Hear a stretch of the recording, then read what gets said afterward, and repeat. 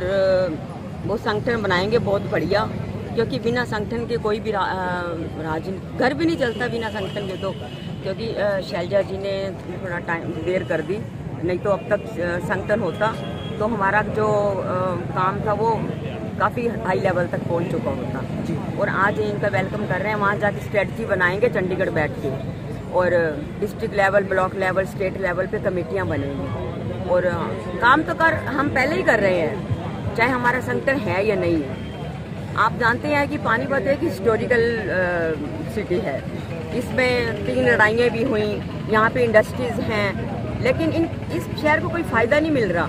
हालाँकि संजय भाटिया जी इस शहर के एमपी हैं, यहाँ से हैं।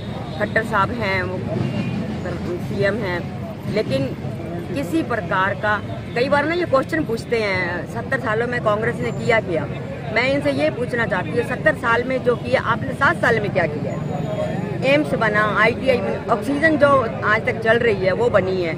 इन्होंने सात साल में क्या आगे एक्सटेंड किया है? सिर्फ़ दस लाख का सूट पहन के यूरोप देश, बाहर के देशों में घूमना होता है। गरीबों के लिए इतनी महँगाई कर दी है।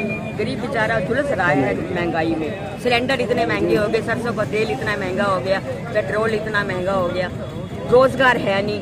नौकरियाँ किसी को मिल नहीं रही। पढ़े लिखे लोग जो हैं चाहे वो एस सी हैं कुछ हैं वो बेचारे ऐसे बैठे हैं। रोज़गार थे हुड्डा साहब के टाइम रोज़गार मिला था लोगों को।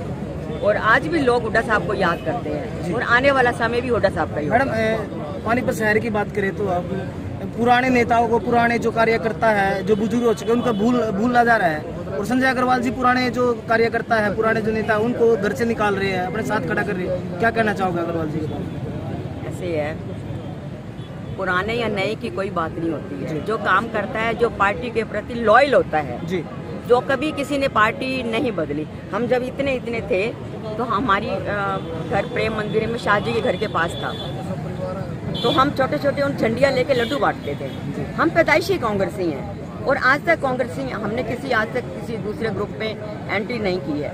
हाँ टिकटाती हैं। अगर टिकट मिलेगी तो इलेक्शन लड़ेंगे। जिसको मिलेगी हम उसका साथ देंगे। जोरों शोरों शोरों से तैयारियाँ हैं। पानीपत शहर के सारे के सारे साथी, हमारे बुज़ुर्ग, हमारे युवा, हमारी महिला डिस्ट्रिक्ट कांग्रेस, सब यहाँ पर अपनी अपनी टीम लेके यहाँ पर आई हुई हैं। और लोगों में बहुत उत्साह है। अभी थोड़ी देर पहले यहाँ पे लोग चौधरी हुड्डा साहब के नारे भी लगा रहे थे, नाच भी रहे थे। मेला बन गया है। तो उनका स्वागत कार्यक्रम को मेला बना दिया। लोग बहुत खुश हैं। और इस से एक चीज़ का पक्का ज्ञान मिलता है। 2024 में हरियाणा प्रदेश में पानीपत शहर के अंदर हरियाणा में कांग्रेस की सरकार बुले शाह जी की शहर के अंदर सरकार आनी निश्चय। पाँच मिनट सिवा निकल आए अच्छा पाँच मिनट कहते कहते तीन घंटे नहीं नहीं नहीं नहीं अब तो सिवा से निकल आए।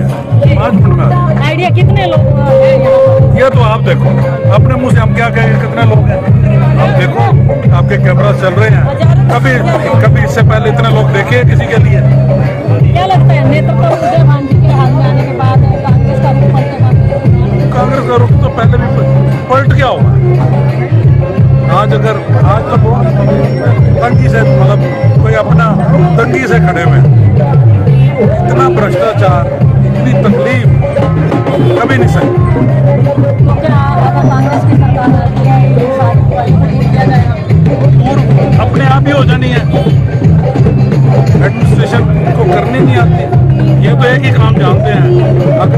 वालों ने परसों जाम किया।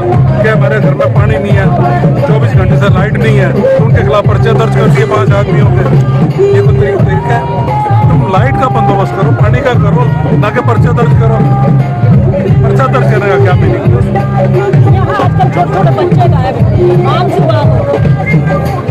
ये तो एडमिनिस्ट्रेशन का काम है, उन्होंने देखना है।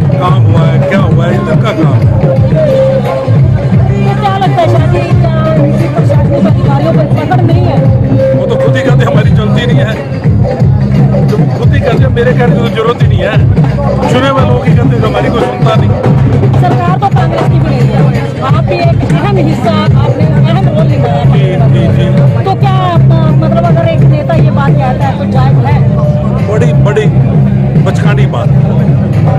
सरकार सरकार इनकी नीचे से ऊपर तक। फिर कोई ना सुने फिर इनमें कोई कमज़ोरी होगी? यहाँ ये ऐसे गलत काम करते हैं क्यों नहीं सुनते महँगाई पर ज़ोर अगर पलट होता है कांग्रेस की सरकार आती तो महँगाई में कुछ कमी आएगी ये सेंट्रल गवर्नमेंट का काम है।